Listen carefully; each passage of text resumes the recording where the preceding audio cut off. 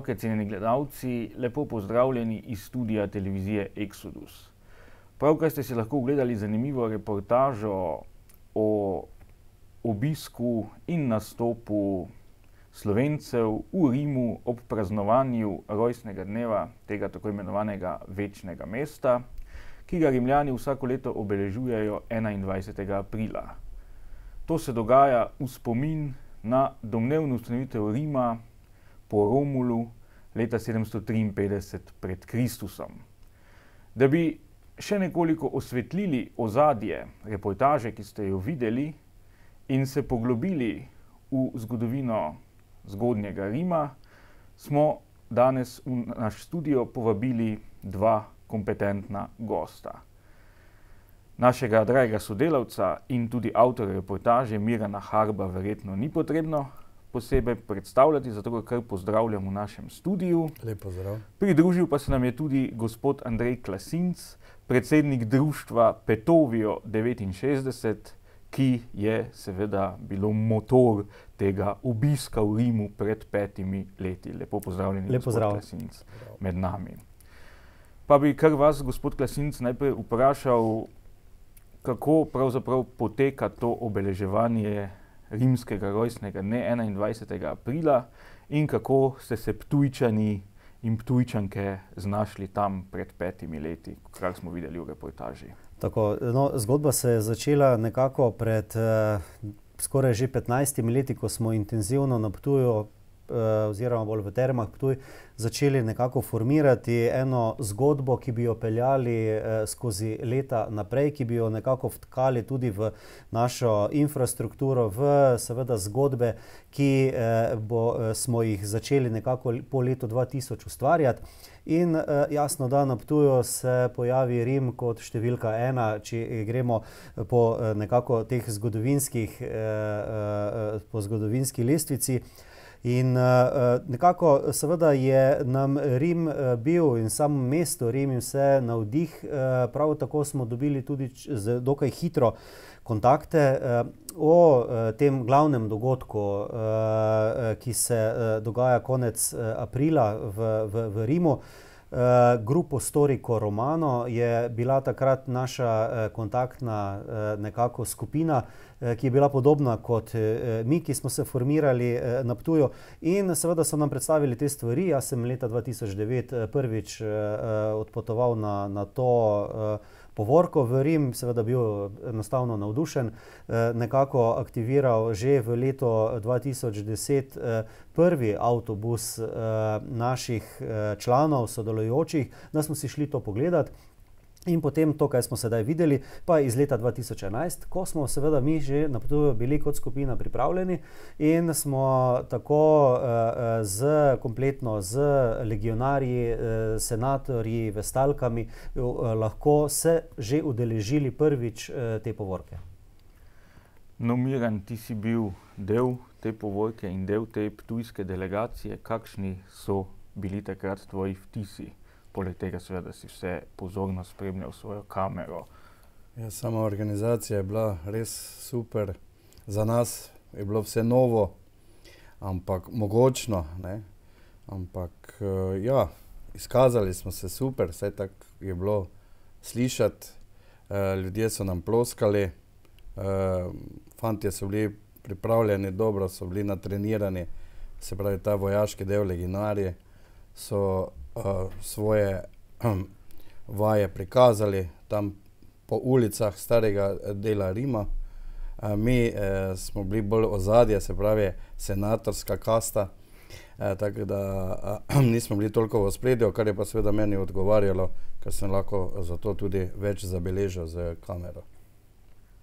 No, prej ste, gospod Klasinc, omenili nekaj tipičnih rimskih pojmov. No, mislim, da naši gledalci si kaj predstavljajo pod legionarji in senatorji, mogoče bi pa razložili še pojem vestalka in kako so se tujčanke znašle v tej vlogi. Tako, najprej, seveda, kaj so bile vestalke. Vestalke so bile v bistvu rimske svečenice, lahko bi dejali, da eh, eh, so v bistvu po, po tistim nekako starodavnih zapisih seveda mlada, nedolžna dekleta, nekje že od osmih let naprej so jih nekako vzgajali kot vestalke, so bile praktično skrbnice templjev. In enostavno lahko bi jih sedaj tudi primerjali nekako z nunami. Torej, to so rimske nune. Tako. S tem, da so bile seveda nune lahko tudi na preklicne, oziroma so lahko potem po določenem času iz, tega, iz te službe izstopile. Ampak, nekako so služile do 30-35 leta. Ne? Tudi v tem obdobju obstajajo tudi nekako zapisi, da so se lahko kasneje tudi poročile po tem letu. Ne? V, v, v tem. In uh, uh, Eh, seveda, eh, naša zgodba eh, pa je ravno v tem, da hočemo nekako prikazati naše vestalke bolj z, z plesom, da seveda jih imamo oblečene, kot ste tudi videli, kompletno v belih oblekah. Verjetno so takrat v Rimu tudi kaj kombinirali v, v tem, ampak večinoma je barva bila bela.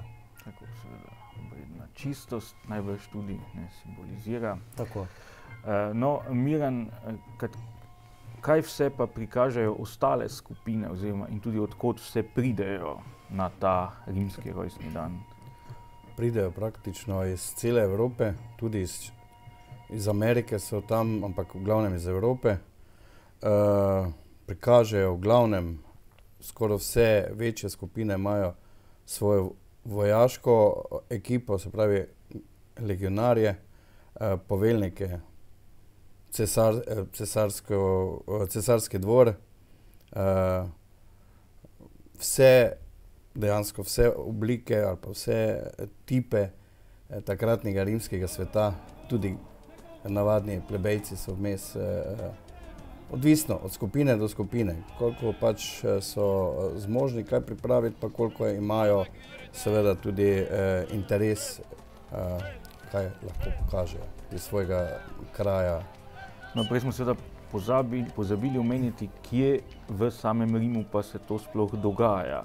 Uh -huh. Sicer se to v dokumentarcu jasno vidi, ampak mogoče vseeno gledalcem razložimo. No, eh, začne se glavno eh, zbiranje se začne v Circus Maximus. To je bil največji praktično objekt v, v Rimu, hipodrom ki bi naj sprejel celo no, do 200 tisoč uh, ljudi. Ja, to seveda moramo povedati, da razen besede same nima veliko skupnega s tem, kar si mi danes predstavljamo. Ne, od cirkusa ostane samo krok ne, ja, ja. v tem.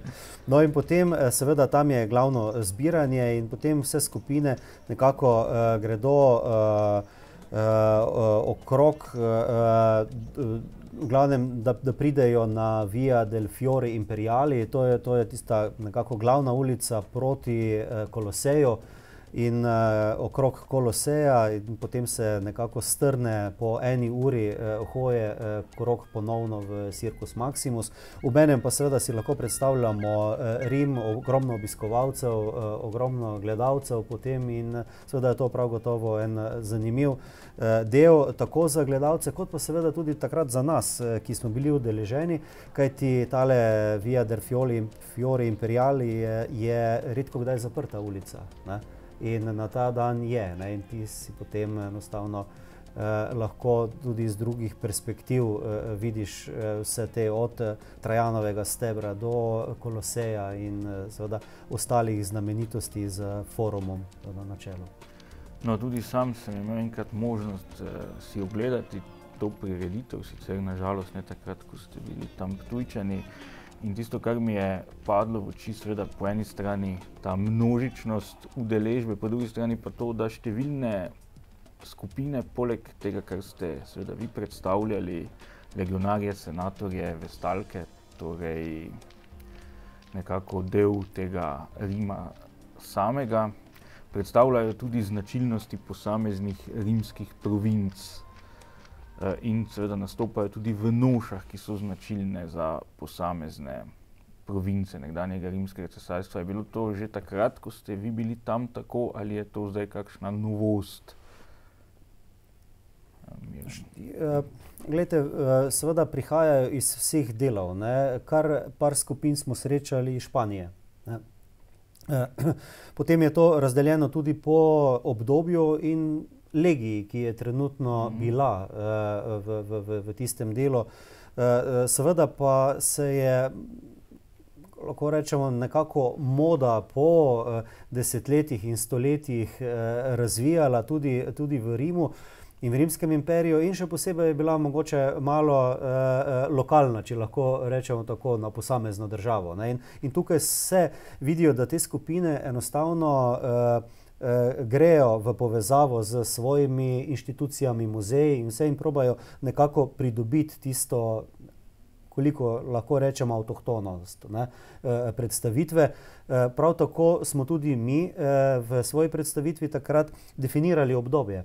Prvo stoletje, uh -huh. še bolj natančni smo malo bili zaradi te naše zgodbe o Primusu, o letu 69 v zboru vojskovodij v Petoviju, takratnem. In seveda smo definirali tudi samo obdobje, pomeni, da Eh, se predstavimo z legijo Gemino 13, ki je v tistem obdobju bila tam, ne, eh, kajti tudi na to se pazi ob samih prijavah.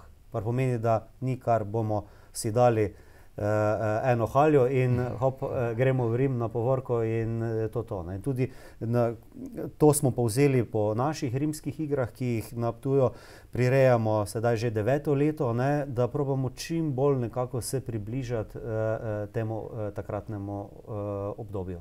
No, zdaj ste pravzaprav načeli dve temi, katerima se moramo v nadaljevanju nujno še vrniti, ampak še prej bi tebe, Miren, vprašal, eh, glede na to, da smo se pravkar ogledali tvojo reportažo, eh, kako pa pravzaprav poteka delo snemalca na taki množični prireditvi. No, ker sem bil sam, se, kot snemalc, si torej sam sebi prepuščen intuiciji eh, trenutnemu navdihu, eh, saj doben ne čaka tam na tebe, da boš ti eh, to posnel tako, kot bi se moralo posneti. Se pravi, če bi šla to ena televizijska ekipa. Eh, dejansko sem eh, spremljal našo, našo ekipo, eh, seveda skakal z enega konca na drugega, od spredaj, od zadaj, tako da so potem kadri eh, različni. Da gledalec eh, vseeno dobi občutek tiste Eh, neke zgodovinske freske, eh, pa seveda delati cel čas. Ne? Eh, ni bilo časa niti razmišljati o tem, koliko ali kaj bom posnel. V glavnem, ti imaš svoj določen čas, v katerem času moraš tam okoli iti. Ni časa, da bi se, kot sem že omenil, zastavljali, pa se nekje pozirali, naprimer pred eh, Trajanjem in Stebrom ali kaj podobnega. Ne kar je skupine za tabo in pred tabo, so, ki pač seveda grejo tudi naprej. Ne. No, to bi vseeno dodal kot oči videti. Res je težko, mogoče Miran o, o sebi bolj govori, ampak neverjetno okreten, agilen in, in to je bilo res uro in pol. Eh, neverjetne neke aktivnosti, ker je potem, koliko se spomnim, ne, bil popoldan, popolnoma izčrpan. Potem, ker je res bil sam, eh, enostavno, kot je povedal, eh, skoraj 1800 udeležencev, to se ne sme zaustaviti. Če bi vsak imel poziranje kamermana in vse ostalo, bi to trajalo 6 ur. Ja. Čim pa ta povorka traja res eh, eh, slabih uro in pol. Ne, kar, je, kar je tu pozitivno. Spomnim se, da smo si privoščili malo tam pri pod eh, Kolosejem, eh, eh, ko je že bilo bolj ja proti koncu zaustavili, pa, pa je bilo kar dosti vroče krvi, ampak vseeno imamo pa prekrasne fotografije ja. tudi iz tistega dela. Ne. No, vse, to, kar je že Andrej omenil, tudi eh, par fotografov smo imeli s sabo, ljubiteljskih, seveda, prijateljev, ki so eh, tudi eh, z, foto, s fotografijami obeležili to našo eh, eh, praktično res ne vsakdanjo eh, zgodbo. Eh, ko me že tako lepo pohvalil, moram pa vedeti, da um, bil sem še v tuniki, ne, kar ja, je bilo ja, še po eni strani težje v dolgi tuniki, eh, senatorski, eh, skakati sem pa tja, ampak bilo pa je ravno v tem tudi prednost, ker vsak civilni fotograf ali pa kamerman ni mogel iti v samo uh, povorko. Ne. Se pravi, uh, tisti pravi kadri, ki jaz pravim bližnji kadri, ko, ti, ko grejo povorke mimo tebe, se pravi, da jih dejansko uh, v obraz ali pa v, ta bližnji kader posnameš, E, to smo samo redki lahko naredili, si privošli to. Pač moraš se malo žrtvovati zaradi tega. Ne? Ja. No, zdaj bi se pa navezal na to, kar ste vi, gospod Klasin, že prej omenili. Torej, ime vašega društva je Petovio 69, pa bi nam morda podrobneje razložili to letnico 69. Nekateri gledalke in gledalci jo verjetno sicer poznajo kot rojstno letnico najstarejšega slovenskega mesta, pa vendarle, kaj se za njo skriva. Ja, mm, skriva se praktično najstarejši zapis uh, o enem slovenskem mestu. Ne? In tu smo mi takrat vzeli uh, to kot osnovo. Uh, govorimo o rimskem kronistu Tacitu, uh, svoj zvezek, s, s, uh, od njegovih knjig Historija, tretji zvezek, govori o uh, rimskem uh, zboru, rimskih vojskovodij v Peto, uh, Petoviju. Uh, takrat so izbrali na, na tem mestu Vespazijana za cesarja, oziroma potrdili. Bilo je to, ne bi preveč na dolgo, ampak mogoče za gledalke in gledalce. To je bilo obdobje nekako po Neronu, ko je bil rimski imperij res v Rasulu. Uh, kasneje obdobje od štirih cesarjev, pomeni v enem letu uh, so uh, se zamenjali štiri cesarje. Kar, če si predstavljamo, takrat se, se verjetno ljudje niti niso bili obveščeni, kaj se sploh dogaja v imperiju. Ne? Že sedaj bi enostavno bilo težko vse to spremljati. No in potem po uh, Galbi, Otonu, Viteliju nekako potrdijo v tistem letu, v letu 69, Vespazijana za cesarja. Uh, ključni dogodek je uh, Petovijo, uh, zbor vojskovodi v tem uh, taboru Gemine, uh, legije Gemine 13. in od tod seveda vojskovodje uh, za svojimi legijami gredo proti Kremoni na dokaj uh, surov pohod, ampak to je bila del državljanske vojne. Ne? In potem uh, nekako premagajo Vitelja, ustoličijo Vespazijana in začne se nekako spet po, uh, eno mirno obdobje v rimskem cesarstvu. Vespazjan je tisti cesar, ki je dal graditi uh, kolosej, mogoče znano bolj tako v ljudski reku pekunija, non mm -hmm. olet, denar ne smrdi, ne obdavčitev vsega, kar je možnega. Po eni strani seveda, da se uh, uh, to cesarstvo ponovno okrepi. No in uh, govorimo o enem pozitivnem cesarju, ki je bil Eh, nekako potrjen eh, na Ptuju. Iz tega smo seveda vzeli tudi lik našega Markusa Antonijusa Primusa, enega od generalov, poveljnika takratne sedme Galbijane eh, legije. In on je nekako bil tisti, ki je dal pobudo z generali, nekako odkorakal, kot sem že dejal, proti Rimu, osvojil, pripravil teren za, za Vespazijana in seveda. Ja, je bil to en od nekih ključnih momentov. To smo takrat vzeli kot enega od takih zelo, zelo pomembnih eh, dogodkov v celotni zgodovini eh, rimskega dela. Mogoče samo omenimo. Eh, da danes oziroma letos nekako lahko rečemo, da bi praznovali na Ptuju 2030 letnico eh, prvega prihoda eh, legionarjev, prve vojske v teh panonskih uporih na, na, eh, na naše ozemlje. In seveda se je že pred letom 69 marsikaj odvijalo v Petoviju, kasneje v drugem stoletju, ko postane Ulpija Trajana, Petovijo, ko pod Trajanom nekako dobi res tiste prave, velike mestne pravice. Ampak seveda mi smo se v našem društvu fokusirali na tole prvo uh, stoletje, nekako začetek vsega in uh, pro, probali vzeti iz te zgodbe en segment, kajti Rimljani na Ptuju so bili skoraj štiri stoletja in vseeno, uh, uh, da ni bi preveč mešali, kot smo že, že mode, kot smo mm. prej dejali, ne, in vsega ostalega uh, bomo probali nekako sedaj v društvu skozi leta, leta predstaviti predstaviti celotno to obdobje našega eh, rimskega, eh, to, tega rimskega obdobja mesta Ptuj. Eh, to pa je potem. Eh, En od teh pa je seveda tudi ti projekti, ki jih delamo naprej, od rimskih iger do sedaj najnovejšega rimskega kampa Petovijo, ki ga formiramo, ki bo en od unikumov nekako v, v tem delu celo uh, Evrope, uh, bo en lasten, uh, samostojen uh, kemp v rimskem stilu, bo možnost, kjer bo možnost, seveda, da si bodo obiskovalci lahko ogledali, kakšno je pa v bistvu bilo nekako realno življenje v starem Rimu, v rimskem obdobju, da ne bodo samo tiste zgolj, ne rečemo, razvaline ali pa kamni, ne, ampak da probamo predstaviti tudi malo tistega navdih, malo življenja in pa občutka, kako je to bilo pred dva tisoč leti. Fino. no, omenjeni sta bili dve zelo pomembni osebnosti za antično Petoviono. To sta najprej cesar Vespasijan in potem Mark Antonij Primus. no, Vespasijan je bil nekako začetnik Flavijske dinastije, in če se ne motim, se vaša skupina, ki obuja rimsko zgodovino znotraj društva, imenuje ravno po tej dinastiji, kajne, Miran? Ja.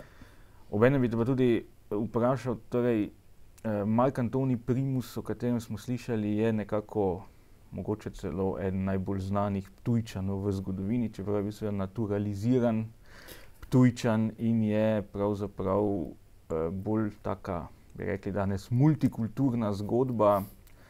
Lahko kaj več poveš o njem pa seveda o tej povezavi s flavijsko dinastijo? No, prinesel sem, en portret njegov, ki ga je naredil, ob priložnosti naš znani, akademski kipar Viktor Gojkovič. To je en odlitek, ki je sicer, bi romal v koš, pa sem ga jaz prepričal, da je rajši meni ga dal, ja. drugače, Primus, samo ni živel na Ptuju, ne. On je bil samo takrat tule med temi poveljniki, glavni, ki je pač takrat dal tole, idejo ali pa tole, Pobudo. pobudo, da Vespasijana izglasujejo za cesarja. Drugače je bil iz Toulousa, tu lahko sicer Andrej malo več pove, ker so imeli pred časom celo enega, profesorja iz, iz Francije, ki je o tem, predaval. Tudi sami smo bili v Toulousu se, si nekako vzpostavili stike z njihovim muzejem, ne, tem, kajti naš ta, ta, lik oziroma oseba, Marcus Antonius Primus, je potem po tej zgodbi z Vespasijanom, nekako so ga, kot je tudi takrat je bila politika, so ga, ko je bil ustoličen, dali nekako na stran in on je potem starost, in pa smrt dočakal, pozno starost, v Toulousu, kot mislim, kot neki ostarel, senator, ne. kaj se pa tiče Flavijcev, ja, tako kot si sam ugotovil, ker je to ravno Vespasijanova, rodbina, smo si mi, dali pač ime po tej družini. imamo tudi pač, lik cesarja, senatorje, ke konzul, seveda tudi dame so med nami, ne, so tudi gospodarice, hiše, ne, kot so rekli temu, Rimljani. V glavnem, ja, naša skupina se je po tej družini poimenovala pa tudi delamo, več ali manj, na, na takih temah, kjer so malo višji sloji rimski, prikazani, ne. To, to je tudi zgodba, rimskih iger, ne, da vsaka skupina nekako dobi, si vzame, ali lik ali obdobje, v tem in, tukaj naši Flavijci prekrasno predstavljajo to, kar si tudi, ker se tudi sami, poglobijo v določene, ne samo zgodbe, ampak zgodovino, kako in kaj in potem nastane vseeno to, kar smo govorili o skupinah, ki se predstavljajo v Rimu, ne, tiste, močne, prave skupine, ki so dokaj, dokaj že, približki tistega življenja pred dva tisoč leti. No, se bomo še vrnili k tem rimskim igram, ste pa vi že omenili seveda, da se je zgodovina antične Petovione začela že pred letom devetinšestdeset in potem praktično trajala globoko v pozno antiko. Seveda Primus ni bil edini, ki ga je pot zanesla v Petoviono, ki je tukaj deloval sicer kratek čas svoje kariere, ampak verjetno vsaj še dve, dva lika iz rimske zgodovine je tudi treba omeniti. Eden je, naj bi bil prvi panonski senator, ne, zato tudi seveda senatorji v vaši delegaciji niso bili naključno. drugi pa je potem povezan že s krščanskim obdobjem Petovione, to je pa Viktorin Petovionski, ki tudi verjetno ni izhajal iz teh krajev, ampak je najbrž prišel z vzhoda, mogoče celo Sirije, ki je danes zelo pogosto v poročilih, um, ali tudi ta del rimske zgodovine že najde mesto v vaših uprizoritvah? Ne, recimo nekako se dotikamo rodbine verov. Ne, kot ste mhm. omenili, Valerij Ver eh, naj bi bil eh, ta prvi oziroma edini senator, eh, ki bi naj res prišel do, do, do vrha hierarhije. Vse poimensko znano. Ja, eh, v tem eh, naj omenimo, to pa poznamo, Orfejev spomenik na Ptuju. Ja več kot pet metrov visok nagrobnik eh, v tem, ki bi eh, bil povezan z eh, družino verov. V tem to pomeni, so bili bogati trgovci, mislim, da so tudi urejali carino in vse. Seveda pa nam je potem tudi namen, da, da počasi prihajamo skozi stoletja. Tudi do uh, Viktorina Ptujskega, in nekako probamo vse potem uh, zajeti, uh, celotno obdobje, ne, od uh, kot sem dejal, nekako uh, deset let ali pa štirinajst pred našim štetjem, neki tisti prvi za, uh, uh, zametki in potem z, z vdori Hunov v krog 450. Ne, Uh, no, seveda, miren, ti si se pa ukvarjal in mislim, da bomo eno vdajo posvetili nekoč v bližnji prihodnosti še eni plasti petovionske antične zgodovine, ki prav tako posega na versko področje, to pa je petoviona kot relativno močan center mitraizma. Ne pa mogoče samo na kratko za predokus gledalcem ja. na hitro predstaviva še ta no, vidik no, um, petovionske zgodovine. Verjetno ljudje poznajo to uh, zgodbo z Mitreji na Ptuju, ker je to pač pri nas tudi center v Sloveniji, pa tudi dal, daleč okoljene. E, odkritih je bilo pet metrejev, od tega sta dva e, in situ, še danes možna e, za ogled, e, drugi so v, v muzejskih depojih. Ampak ja, to se mi je zdela ena zelo zanimiva, a, a, ne vsakdanja zgodba, s katero se pa lahko pohvalimo tudi eh, daleč okoli in v Evropi na splošno. Ja, in kot rečeno, danes oživljajo Rim na najbolj plastičen način na Ptuju rimske igre. Kako ideja za nje, kdaj potekajo, kdo je vse že sodeloval in kdo danes redno sodeluje na njih. Ja, e, ideja sega v leto 2007, e, nekako z otvoritvijo Grand Hotela Primus, hotela v Termah Ptuj. In potem e, smo nekako intenzivno razmišljali, kako in kaj, kaj dati tej rimski zgodbi e, kot en e, višek sezone. Recimo, nekako smo definirali, da konec avgusta e, zberemo e, čim več. Ljudi jih oblečemo v Rimljane in potem nekako v dveh, treh, štirih dneh probamo uh, uh, ustvariti uh, to uh, uh, dogajanje uh, v tem, tako da smo leta 2008 uh, izvedli prve. Nekako tako pilotske rimske igre, prvih pet let smo bili v Termah Ptuj, eh, na prekrasnem ambientu, eh, Potem je bilo po petih letih že tista prva faza, ko smo enostavno ali pa eh, se zaključila in smo potrebovali neko širitev. Šli smo k prvemu Mitreju na, na tista stara zemljišča, kjer se je začel eh, stari Petovijo eh, na, na Hajdini.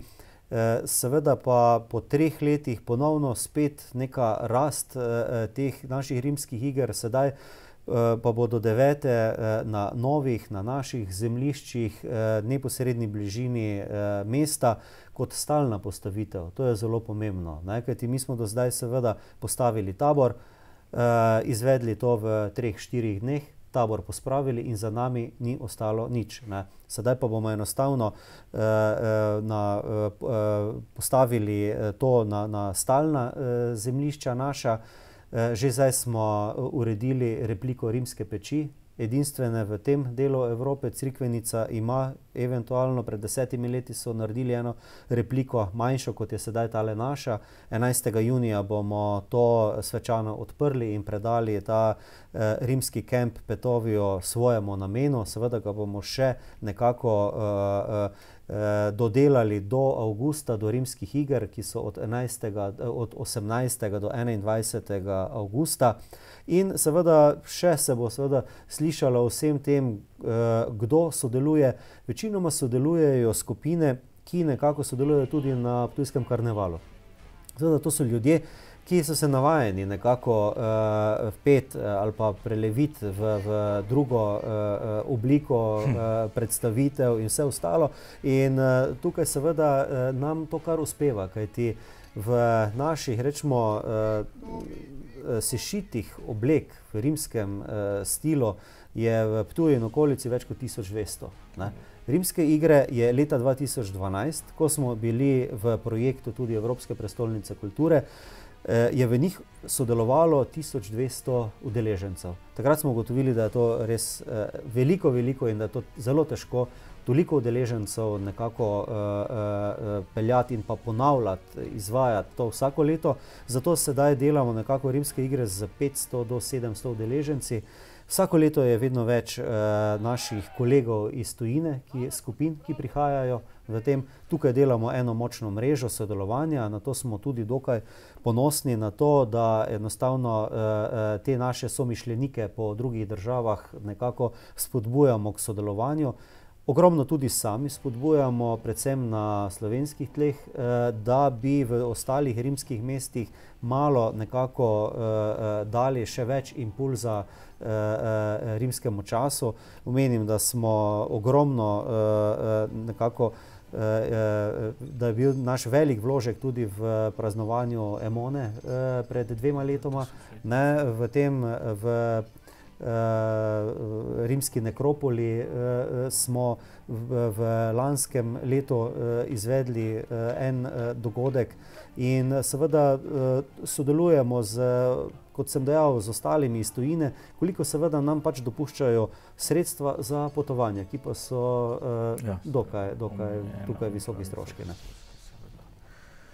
No, da gledalke, cenjeni gledalci, vabljeni torej prisrčno avgusta na Ptuj in miren, seveda od tebe pa si želimo nove reportaže, ki bi jo lahko pokazali tudi tistim, ki jih na Ptuju ne bo. Zahvaljujem se vama za obisk v studio, za to, da sta še dodatno osvetlila reportažo, ki so si jo gledalke in gledalci lahko ogledali.